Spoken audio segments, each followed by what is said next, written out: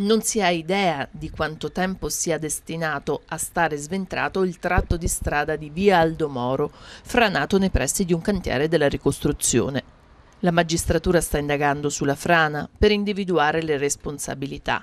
Solo in seguito si potrà stabilire chi dovrà pagare il rifacimento di quel tratto di strada. Intanto la trafficata arteria dell'immediata periferia cittadina è bloccata da due settimane, un tempo che sembra destinato a decuplicarsi per indagini e burocrazia.